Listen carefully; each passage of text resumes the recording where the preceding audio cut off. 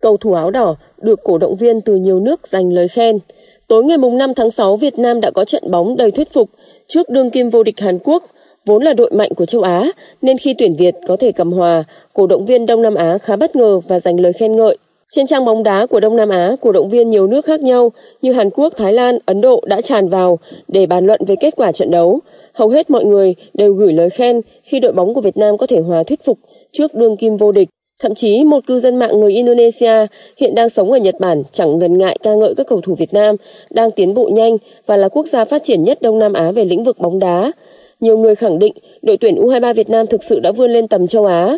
Đội bóng được xem như kỳ phùng địch thủ của Việt Nam là Thái Lan cũng tâm phục khẩu phục trước chiến thắng lần này. Cổ động viên đội bạn đã để lại nhiều lời khen các chàng trai áo đỏ vì kỹ thuật chơi bóng tốt, cố gắng nỗ lực hết mình như những chiến binh. Bàn thắng gỡ hòa của Việt Nam trước Hàn Quốc rất đẹp, nó là sự kết hợp hài hòa chứ không phải ăn may. Thái Lan bớt ảo tưởng về việc họ cầm hòa với Việt Nam khi các cầu thủ Việt Nam đang có sức khỏe không được tốt. Việt Nam đã kiên cường khi cầm hòa với đội tuyển dẫn đầu châu Á như Hàn Quốc. Việt Nam rất tiến bộ, họ đã khiến cả Đông Nam Á tự hào. Việc cầm chân được nước đi đầu về bóng đá cả châu Á là điều không phải dễ dàng, khâm phục thật sự. Giờ thì đẳng cấp của Việt Nam đang ngang với Hàn Quốc và Nhật Bản rồi. Thái Lan thật may mắn khi hòa với Việt Nam. Ý kiến từ cộng đồng mạng. Trong trận đấu với Hàn Quốc, Việt Nam bị dẫn trước một bàn ở hiệp 1. Sang hiệp 2, đội tuyển đã thay đổi hai vị trí là Công Đến và Văn Tùng cho Hoàng Anh, Văn Đô. Ngay sau đó, Quang Nho và Đình Lâm cũng được huấn luyện viên tung vào sân để thay thế cho Văn Trường, Văn Khang.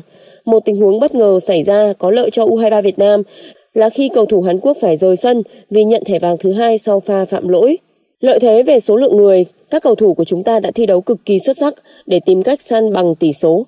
Những phút cuối của hiệp 2, Phan Tuấn Tài đã có pha tạt chìm giúp Vũ Tiến Long tận dụng cơ hội ghi bàn vào lưới Hàn Quốc. Trận đấu Việt Nam và Hàn Quốc kết thúc với tỷ số 1 đều. Mong rằng với chiến thắng lần này, các cầu thủ Việt Nam sẽ thêm động lực để chiến đấu ở những vòng sau và giành vé đi tiếp.